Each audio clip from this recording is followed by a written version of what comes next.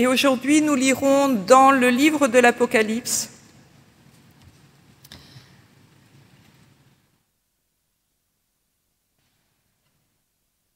au chapitre 21. Alors je vis un ciel nouveau, une terre nouvelle, car le premier ciel et la première terre avaient disparu, et la mer n'était plus. Et je vis descendre du ciel d'auprès de Dieu la ville sainte, la Jérusalem nouvelle, prête comme une mariée qui s'est parée pour son mari. J'entendis du trône une voix forte qui disait, La demeure de Dieu est avec les humains. Il aura sa demeure avec eux, ils seront ses peuples et lui-même, qui est Dieu avec eux, sera leur Dieu. Il essuiera toute larme de leurs yeux. La mort ne sera plus. Il n'y aura plus ni deuil, ni cri, ni douleur, car les premières choses ont disparu. Celui qui était assis sur le trône dit, De tout je fais du nouveau. Et il dit, Écris, car ces paroles sont certaines et vraies. Il me dit, C'est fait, c'est moi qui suis l'alpha et l'oméga, le commencement et la fin. À celui qui a soif, je donnerai de la source de l'eau de la vie gratuitement. Tel sera l'héritage du vainqueur, je serai son Dieu et lui sera mon fils. Mais pour les lâches, les infidèles, les êtres abominables, les meurtriers, les prostituées, les sorciers, les idolâtres et tous les menteurs, leur part sera dans les temps brûlants de feu et de soufre. C'est la seconde mort. Puis un des sept anges qui tenait les sept coupes pleines des sept derniers fléaux vint parler avec moi, et il me dit, Viens, je te montrerai la mariée, l'épouse de l'agneau. Il me transporta par l'Esprit sur une grande et haute montagne, et il me montra la ville sainte, Jérusalem, qui descendait du ciel, d'auprès de Dieu. Elle avait la gloire de Dieu, son éclat ressemblait à celui d'une pierre précieuse, d'une pierre de jaspe transparente, comme du cristal. Elle avait une grande et haute muraille, elle avait douze portes, et sur les portes douze anges. Des noms y étaient inscrits, ceux des douze tribus des Israélites. À l'est, trois portes, au nord, trois portes, au sud, trois portes, et à l'ouest, trois portes.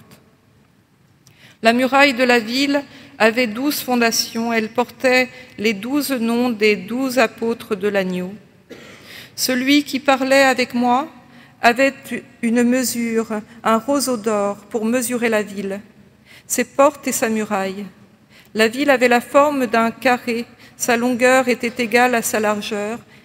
Il mesura la ville avec le roseau, douze mille stades, la longueur, la largeur et la hauteur en étaient égales. Il mesura la muraille, 144 coudées, d'une mesure humaine qui était celle de l'ange.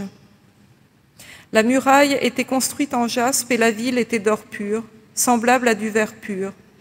Les fondations de la muraille de la ville étaient ornées de toutes sortes de pierres précieuses.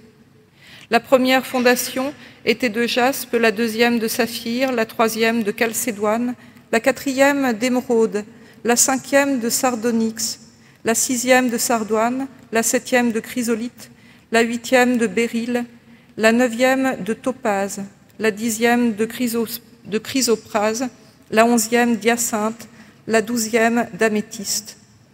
Les douze portes étaient douze perles, chacune des portes était d'une seule perle. La grande rue de la ville était d'or pur comme du verre transparent.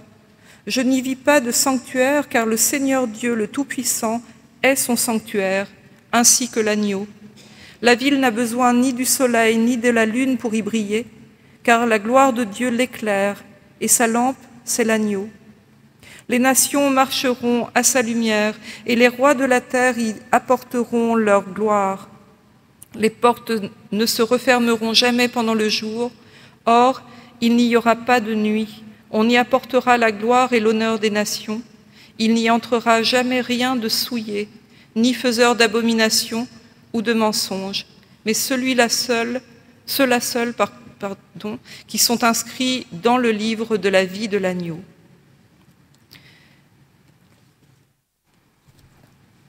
Je vous invite à chanter ensemble le cantique 298, les strophes 1, 2 et 3.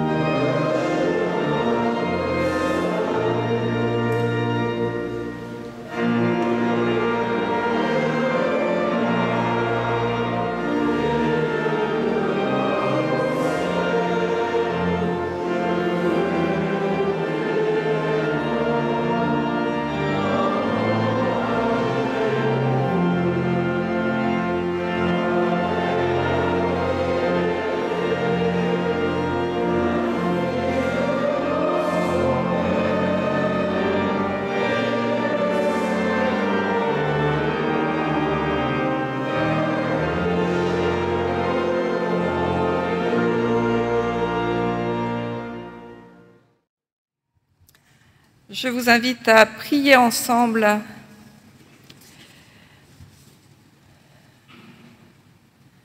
Seigneur, donne-nous ton esprit pour que nous sachions où aller quand nos chemins se perdent, que faire quand notre avenir est incertain, que pouvoir quand nous sommes au bout de nos forces. Seigneur, donne-nous ton esprit pour que nous puissions bâtir ton royaume en annonçant, en guérissant et en aimant. Seigneur de notre espérance et de notre foi, nous te cherchons dans la méditation de cette écriture ancienne, à l'écoute de ta parole, source de nouveauté.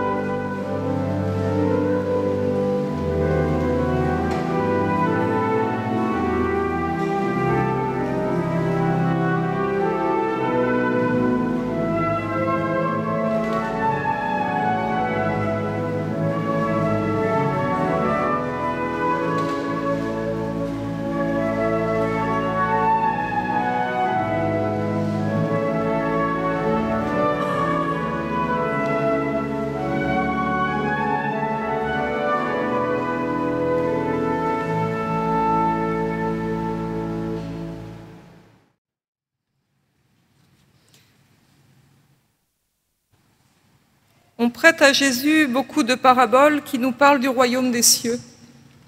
Comment parler du ciel sans parler du royaume des cieux?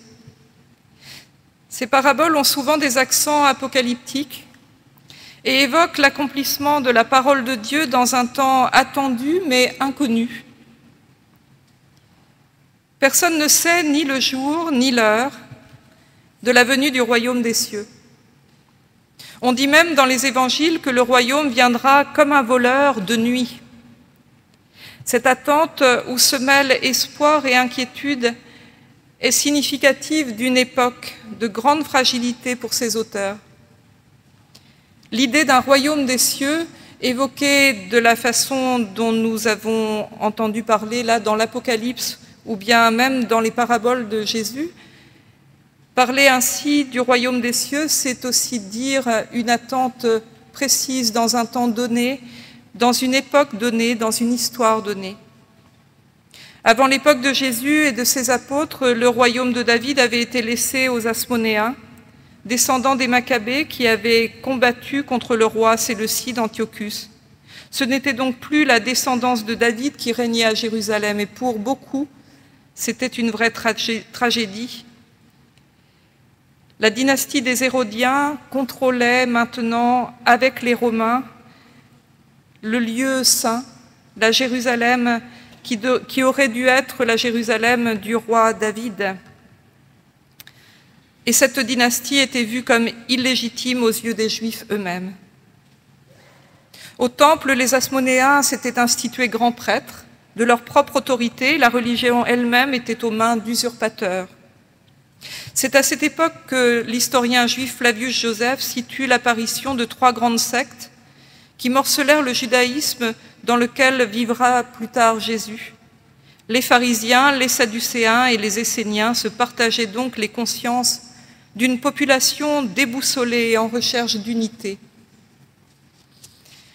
C'est dans ce contexte qu'apparaissent les textes d'Apocalypse. On comprend mieux comment la, littérature apocalyptique se développe dans un contexte où l'attente d'un règne nouveau devenait l'espérance de tout un peuple. Il fallait que quelque chose de nouveau advienne. Hérode le Grand, un grand bâtisseur, construisit un palais qu'il dédia à l'empereur Antoine, vous imaginez, et un temple qu'il dédicaça à l'empereur romain. Pour les fidèles juifs, le parallèle avec les prophéties d'Ésaïe n'était pas difficile à faire. On se trouvait à Jérusalem dans un lieu de syncrétisme qui n'avait plus rien à voir avec la cité sainte où Dieu voulait établir sa demeure. Il fallait qu'un sauveur paraisse, redonne son statut de cité sainte à Jérusalem. Dans la littérature juive, les textes apocalyptiques sont nombreux et présentent souvent une, relecture de la Torah qui cherche à redonner un sens à l'histoire du salut. Et là aussi, tout cela se déploie sur fond de persécutions et de temps difficiles. Ces textes interrogent le présent, grâce aux textes anciens, dans une concentration du temps. L'histoire linéaire n'a plus d'importance pour celui qui écrit.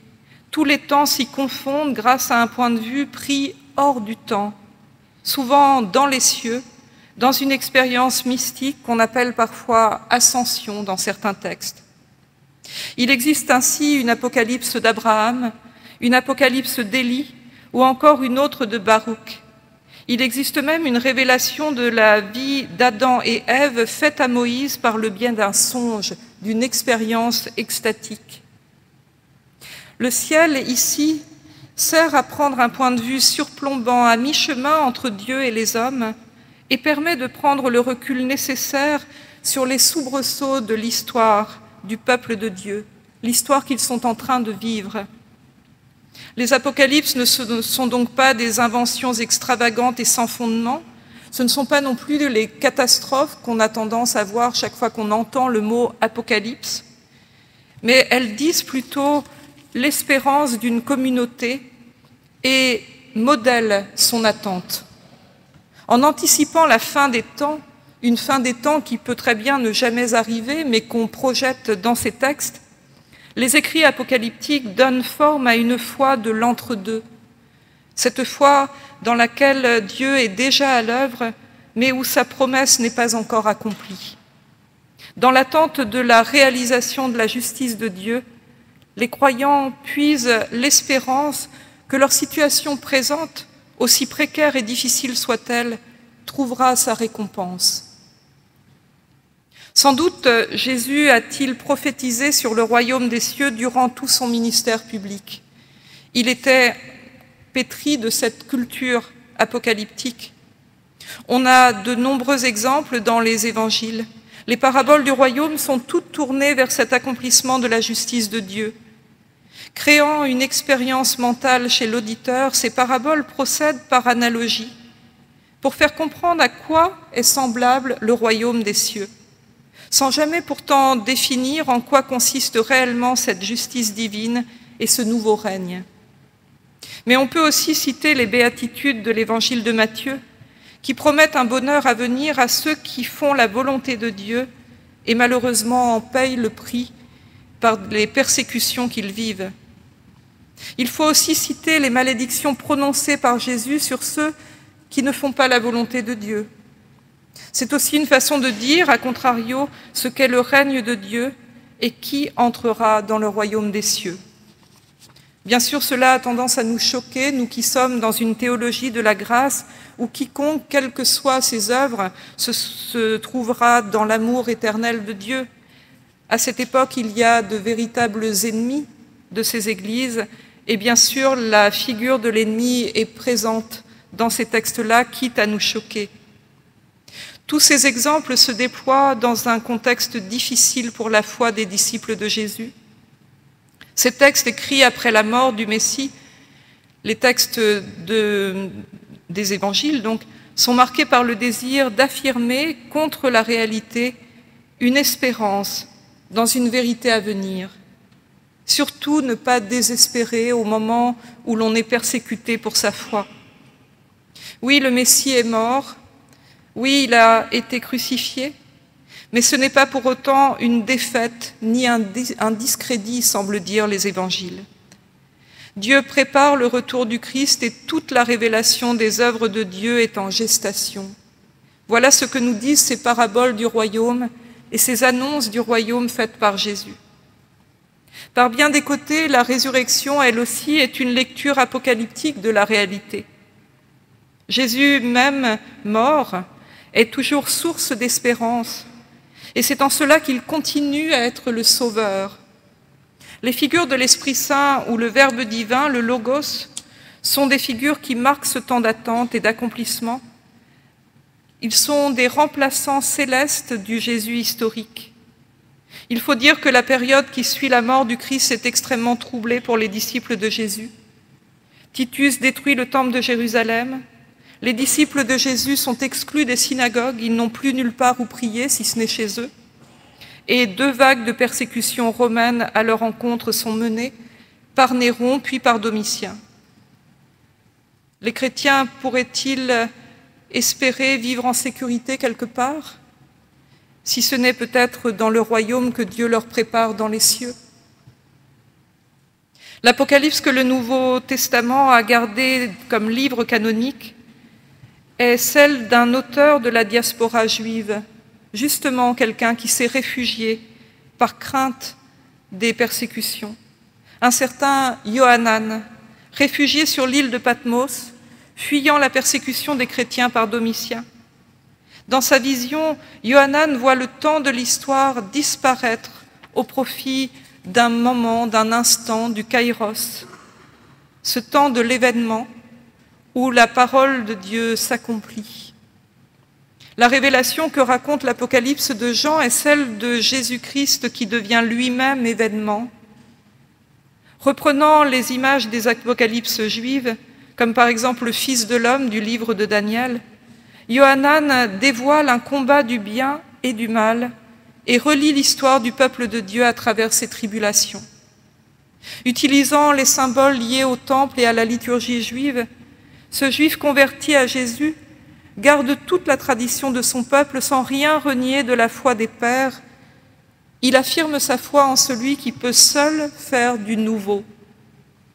L'agneau de Dieu, celui qu'on a sacrifié à cause du péché de tous et pour le pardon de tous, voilà ce qui fera du nouveau. Johanan est loin de Jérusalem, et dans son exil, il rêve d'une cité idéale, prenant la place des ruines de la cité sainte. Chaque élément de la cité céleste évoque le culte à Jérusalem. Loin d'être un délire esthétique, la cité décrite dans l'Apocalypse est un hymne a une foi restée intacte dans le cœur de ce croyant, malgré l'oppression et la fuite. Que l'espérance de Yahanan prenne la forme d'une cité n'est pas une évidence. Pour les Israélites, dans la tradition scripturaire, la ville est le lieu où l'orgueil des hommes se manifeste le mieux. Elle n'est pas forcément signe du royaume de Dieu. Il y a même des villes maudites dans la Bible. Babylone ou Rome sont présentées comme des grandes prostituées, dans lesquelles tout s'achète et tout se vend, où le mélange est partout et l'impureté partout. Dans les villes édifiées souvent par des empereurs ou des rois mégalomanes, la place de Dieu est souvent restreinte. Au mieux enfermé dans un temple, au pire mis en concurrence avec une multitude d'autres dieux, le Dieu d'Israël n'a été que très rarement respecté comme l'auraient voulu ses fidèles dans la ville de Judée et particulièrement dans le moment où se passe cette histoire de l'Apocalypse. Yohanan sait qu'à ce moment-là, on est en train de trahir la place du Dieu unique. Même au temps du roi Salomon, des temples pour les dieux étrangers y ont été érigés, reléguant le Dieu d'Abraham, d'Isaac et de Jacob à une place parmi tant d'autres. La cité céleste de l'Apocalypse est un tabernacle aux dimensions extraordinaires. Et ce tabernacle signifie que Dieu n'est pas enfermé dans le Saint des Saints, à part des humains, dans une salle du temple, mais qu'il habite la cité tout entière avec eux. Il y est partout chez lui. Voilà la nouveauté de l'Apocalypse.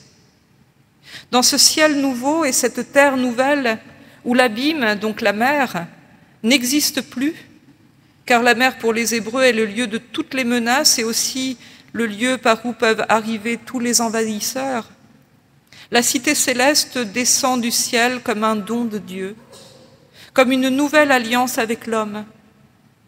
Voilà la demeure de Dieu avec les hommes, il demeurera avec eux. Ils seront son peuple et lui, le Dieu avec eux, sera leur Dieu. Par cette cité, le ciel rejoint la terre et Dieu habite avec les hommes. Comme promis dans le prophète Ésaïe, la jeune fille est enceinte, elle mettra au monde un fils et l'appellera du nom d'Immanuel, Dieu est avec nous. Loin de se compromettre en habitant dans la ville, Dieu offre une ville pure comme du cristal, exempte de toute souillure. Il divinise l'espace urbain de cette ville par sa présence. Les fondations de la Jérusalem céleste sont faites des douze pierres semi-précieuses du pectoral du prêtre du temple de Jérusalem. C'est pour cela que nous avons une liste de ces pierres merveilleuses avec toutes ces couleurs. Chacune représente une tribu d'Israël sur le pectoral du, du prêtre de Jérusalem. En revanche, ici, ce sont les douze apôtres du Christ qui sont signifiés par ces pierres. Ainsi, la cité fondée sur les douze tribus et ensuite sur les douze apôtres peut accueillir les nations du monde entier pour qu'elles s'éclairent à la lumière du Christ, celui qui rapproche la terre et le ciel, celui qui unifie le divin et l'humain. Dans la cité céleste, l'homme rendu juste vit selon Dieu et Dieu rendu proche vit avec l'homme. Chaque homme peut devenir prêtre et rendre gloire à Dieu par sa vie, comme les apôtres le font. Voilà l'accomplissement que révèle cette cité. Ce monde idéal pourrait paraître dérisoire. Qui pourrait croire qu'une telle cité existe un jour? Doit-on même espérer une telle vie? Dans la cité idéale, aucun mal ne se fait, ce qui est en effet très agréable à imaginer. Les méchants sont même exclus. Il ne reste que le bon le mauvais est anéanti. Une telle vision s'adresse à ceux qui se croient du côté du bien, évidemment. De plus, l'Apocalypse se termine sur la vision d'un nouveau paradis avec un arbre de la connaissance du bien et du mal en libre service, si j'ose dire. Le bien devient accessible à tous. Personne ne peut plus ignorer ce qu'il a à faire. Alors quelle espérance représente le royaume des cieux pour celui qui croit? Que faire de cette vision de Jean? Maître Eckhart, philosophe et théologien du Moyen Âge, écrit dans ses entretiens spirituels Tout ce que l'on ose espérer découvrir en Dieu, on l'y trouve réellement, et mille fois plus. Ainsi, pour Maître Eckhart, la confiance en Dieu ne peut jamais être déçue. Tout est contenu en lui et la confiance peut être source d'un vrai savoir, exempt de doute. Pourtant, Comment garder espoir quand tout semble s'effondrer autour de soi? Comment avoir le courage d'attendre le royaume là où règne la violence, l'oppression, l'injustice, la souffrance et la mort? Comment faire pour garder l'espérance dans les temps de tribulation Comme une source inépuisable d'images consolatrices la foi en un royaume des cieux est peut-être la confiance dans le fait qu'il existe quelque part une justice, un bien, ce que nous recherchons et que nous avons tant de mal à voir advenir parfois. Inaccessible, sauf à de rares exceptions, cette justice, cette vérité sur le monde, ce jugement juste sont un réconfort qui permet de continuer à tendre vers le bien. Car après tout, si Dieu fait pleuvoir sur les bons comme sur les méchants, comme dit l'Écriture, à quoi bon chercher à vivre une vie meilleure, à construire un monde meilleur? Il serait plus facile de, se, de le laisser faire et de se laisser aller à nos propres désirs sans se soucier du bien. Le royaume des cieux advient dans le monde profane quand ce qui est juste et bon se révèle. Et cela arrive, reconnaissons-le. Quand les efforts pour son prochain se révèlent fructueux, quand le combat pour la justice réussit enfin, quand la vérité émerge au milieu du mensonge, quand l'amour du prochain vient à bout de la haine, alors le royaume des cieux est là, le royaume des cieux se révèle quand le ciel touche la terre et que la lumière se fait sur la noirceur de notre compromission. Quand l'homme est heureux, quand le malheur est écarté. Et au vu de la condition humaine, c'est une vraie nouveauté. Le prophète Ésaïe l'annonçait déjà, car je crée un ciel nouveau, une terre nouvelle, écrit-il.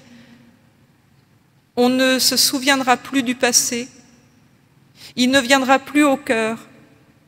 Égayez-vous plutôt et soyez pour toujours dans l'allégresse à cause de ce que je crée, car je crée Jérusalem pour l'allégresse et son peuple pour la gaieté. On n'y entendra plus de pleurs ni de cris.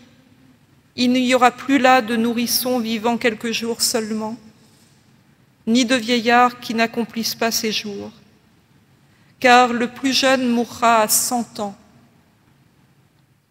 voilà la prophétie d'Ésaïe, quelques siècles avant celle de Jean, de Johanan dans l'Apocalypse. C'est impossible, me direz-vous. Nous ne pourrons jamais arrêter le mal inhérent à notre condition. Sans doute la raison nous le dit. Mais la foi nous offre un horizon et nous permet de croire qu'il est possible de travailler à l'advenue de ce royaume. La foi nous offre un horizon et libère notre action du désespoir en nous permettant d'agir pour ces bribes de royaume qui se révèlent parfois. Tout cela n'est pas en vain. Chacun, dans le lieu où il agit, peut espérer voir advenir un morceau de ciel au milieu du monde ancien. Dans l'espérance, nous pouvons travailler ensemble. Sans l'espérance, que serait notre vie? Le royaume des cieux existe, pas comme un endroit précis, mais comme un instant où nos vies révèlent le divin. L'Apocalypse nous dit qu'il est Dieu avec nous. Dans nos actions profanes, du divin s'est glissé par la foi. Faisons-le agir en nous. Amen.